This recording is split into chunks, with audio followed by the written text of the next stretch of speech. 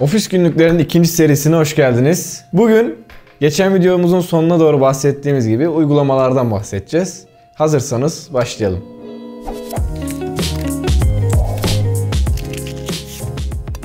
Bugün bahsedeceğim 7 tane kişisel gelişim uygulaması var. Onlardan ilki Brain Focus. Brain Focus daha önce videomuzda bahsettiğimiz Pomodoro tekniğini uygulamamıza yarıyor. Burada konu belirliyoruz. Yani o konuya göre kendimizi görevler belirliyoruz. Sonra burada beyin simgesine bastığımızda bu Pomodoro başlıyor. Yani 25 dakika boyunca odaklanmanıza yardımcı olacak bir uygulama. Hani hep var ya o dersin ortasında veya kitap okumanızın ortasında telefondan ses gelir, bildirim sesi girersiniz. Ama bildirim sesinin geldiğinde telefona 25 dakika harcarsınız. Çalışmaya 5 dakika. O yüzden bu Pomodoro tekniğiyle ilerlemeniz belli bir işi yaparken veya bir okuma yaparken daha güzel oluyor. Sonrasında bittiğinde zaten burada kahve simgesi çıkıyor. 5 dakika boyunca da kafanızı dinlendirmenizi istiyor. Bu 25'lik periyotlarla uyguladığınızda 4-5 tane Pomodoro gayet güzel bir çalışma ortaya çıkıyor. İkincisi de Remender. Remender diye yazılıyor ama okunuşunu tam şu an telaffuz edemiyorum, bilmiyorum. Bu da zamanlamanızı sağlıyor. Neler yapmak istiyorsunuz? Burada işte derslerinize dair veya çalışmalarınıza dair onu zamanlıyorsunuz. Ve hatta şurada bir kendimiz yapalım bir tane. Bir tane görev verelim. Ne verelim görev? Görev verelim. Mesela alışveriş diyeyim. Alışveriş burada önemliyse eğer benim hatırlatıcımın üst kısmındaysa eğer bunu kırmızı ile belirtiyorum. Sonra da zaman var. Koşulları belirliyorum. İşte tarih ve saat. Çarşamba sa öğleden sonra işte 3'te. 3'te hatırlatmasını istiyorum. Buraya yazıyorum. 3'te hemen sıralamamın üstüne koyuyor. Ayrıca bunun widget'ı var. Widget ana ekranda. Reminder. Buradan da ben aynı şeyleri görebiliyorum. Burada ana ekranda bunu görmek daha güzel oluyor. Hem ana ekranınızda her zaman görüyorsunuz, hatırlıyorsunuz. Hem de yaptığınızda şuraya gelmiş mesela tik attığınızda bu buradan gidiyor. Üçüncü uygulamamız o da alışkanlıklar. Bu da en çok sevdiğim uygulamalardan biri. Bir alışkanlık kazanmanızda tekrara çok önemli bir eylem oluyor. Yani onu tekrarlamanız özellikle bu tür uygu, bu tarz uygulamalarla her zaman hatırlattığında güzel oluyor. Ben mesela buraya 4-5 tane sıraladım. E, sabah namazından sonra uyumama, işte 5'ten sonra uyanma, spor yapma tarzında. Ve bunun en güzel yanı da görevimi yazdığım an tekrarlatmasını her gün yapıp burada da saatini belirlemem. Mesela sabah namazından sonra uyumama bildirimi bana saat 7'de her gün geliyor. Ben de yaptım veya yapmadım olarak işaretliyorum. Ayrıca bu bana istatistik ve takvim de veriyor. Mesela direnç koş başlığı altında verdiğimde şurada yaptığım tarih ve takvim var. Burada da istatistiğim var. Üçüncü bir uygulamada telefonla ilgili bir uygulama Your Hour diye. Your Hour'da daha çok telefonunuzu kontrol etme anlamında size yardımcı oluyor. Ne kadar kullandığınızda ve kaç kere telefonu açıp kapadığınızda. Burada hedef belirleyerek giriyorsunuz uygulamaya. Sonradan zaten şurada en başta kullanım süresi mesela şu an 46 dakika. Kilit açma sayısı 20 dakika olarak 20 dakika olarak yazmış veriyor.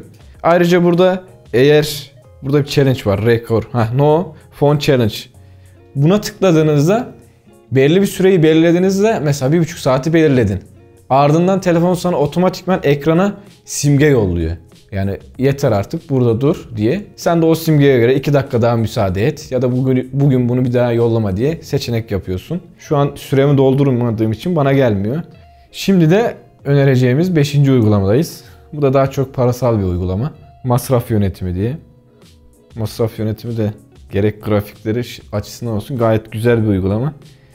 Ee, şu, burada da hızlı gelir ekleme ve hızlı gider ekleme ile aynı zamanda grafikle nelere harcama yaptığımı oransal olarak bana ifade ediyor. Hızlı gelir eklediğimde direkt buraya yazıp e, sarı işaretine bastığımda gerçekleşiyor. E, giderde de zaten belirlersen mesela özel bir şeyi hani burada yeni kategori ekleden belirliyorum. Yeni olarak mesela buraya ehliyet taksi de eklemişim. Yani giderimi oraya verdiysem oraya yazarım. Kategori ekleyerek de farklı gider gruplarını da yönlendirebiliyorum. Bu da güzel bir uygulama olarak bahsedeceğimiz uygulamalardan biri. Ayrıca böbrek taşı olanlar, ameliyatını geçirenler veya böbrekleri bu konuda taş üreten arkadaşlarım için Water Drink uygulaması var benim de kullandığım. Kullanabilirler. Çünkü ameliyatın acısını hissettiğiniz zaman evet ameliyattan bir ay sonra gerçekten de su içiyorsunuz ve acayip bir şekilde arttırıyorsunuz ama zamanla o acının unuttuğunuzda artık su içmeniz düşüyor. O yüzden water drink böbrek taşı hastalarına önerimiz. 5 tane kişisel gelişim uygulamasından sonra şimdi de bahsetmek istedim. İslami bazı uygulamalar var. Burada ilk olarak bahsedeceğim uygulama Diyanet'in namaz vakti uygulaması. Bu uygulamayı yükleyerek ekranınızın bildirimler seçeneğinin olduğu yerlerde kalmasını sağlıyorsunuz. Mesela vaktin çıkmasına hem burada hesaplayarak vaktini veriyor hem de diğer vakitlerin saatlerini vermiş oluyor. Bu açıdan kullandığınızda gerçekten hoş bir, güzel bir uygulama oluyor. Diğer ikinci bir uygulamada Hayrat Kur'an-ı Kerim uygulaması. Özellikle ben bunu dışarıda bir yerden bir yere giderken Kur'an-ı Kerim dinlemek istediğimde kullanıyorum. Çünkü burada ayetleri e, birden fazla okuyucunun üstüne dinleme seçeneğiniz var. Mesela burada İshak Danış'tan Mahir el Mugayli'ye kadar, Kabe imamlarına kadar hem de Türk imamlara kadar dinleme seçeneğiniz var. Onlardan birini seçerek dinleyebiliyorsunuz. Aynı zamanda kendiniz de burada okuma yapabilirsiniz. Ayrıca Hayrat Vakfı'nın da şöyle güzel bir şey var. Mesela dinlemek istediğiniz sureyi indirdikten sonra şurada seçeneklerle ayetin ve nereden nereye kadar olduğunu belirliyorsunuz. Bunun yanında ayet grubunu veya ayeti e, çalma süresi vererek ya da döngü vererek devamlı onu ezberlemenizde yardımcı oluyor. Bir diğer güzelliği de Hayrat'ın şöyle buradaki tuşa basınca biraz önce bastığım tuşa tefsir ediyor. Yani burada tefsir ederken ayetin mealini veriyor. Ardına da Risale-i Nur'dan o mealle ilgili yeri veriyor. Bu bakımdan da okumanızda yardımcı olabilir. Bir diğer İslami uygulamamızda Adab-ı Muaşeret diye güzel bir uygulama yapılmış. Bu uygulamada da günlük olarak hani bir ayet hadis, altına bir vecize, Risale-i Nur'dan bir de adabla ilgili, adab-ı muaşeret kurallarıyla ilgili ilmi halden bilgiler veriyor. En aşağısına da bir dua veriyor. Bu da gayet güzel tatlı bir uygulama olmuş. Direkt burada paylaşma seçeneğiyle hem WhatsApp'tan hem de mesaj olarak hem de kopyalayarak istediğiniz mecrada paylaşabiliyorsunuz. Bir diğer güzel İslami uygulamada hayatınız sünnete göre yani oyunu kurallara göre oynamakta yardımcı olacak bir uygulama. Burada uygulamaya girdiğinizde burada yapılan sünnetleri veriyor. İşte abdest alınca ahlak hasene akşam 3 kez mesela seçtiğinizde bunu aynı zamanda hatırlat seçeneğini de kullanarak e, istediğiniz vakitte ayarlayabiliyorsunuz. Aynı zamanda duvar kağıdı yaparak her zaman hatırlamanızı yardımcı olacak bir ekran fotoğrafı da yapabiliyorsunuz. Ve son olarak İslami uygulamada burada bahsetmek istediğim Risale-i Nur Kütüphanesi uygulaması. Bu Risale-i Nur'a başlamak isteyip de e, bazı anlamların kendilerine zor geldiği için bırakanlar için birebir güzel bir uygulama. Çünkü burada anlamadığın bir kelimenin üstüne tıklayarak mesela rububiyet burada kelimenin manasını öğrenerek okumana devam edebilirsin. Ayrıca burada ayetlerin de e, anlamını vererek onlara da bakabilirsin. Ve burada burayı kopyalama veya kaydetme seçenekleri de var. Mesela ben bunu kaydetme seçeneklerini kullanıyorum daha çok işaretler bölümünden. Mesela neden İslam ilk yıllarında hemen yani hızlı gelişmiş sonrasında yavaş yavaş ilerlemiş? Neden masumlara zulüm ediliyor? Neden şeytan var?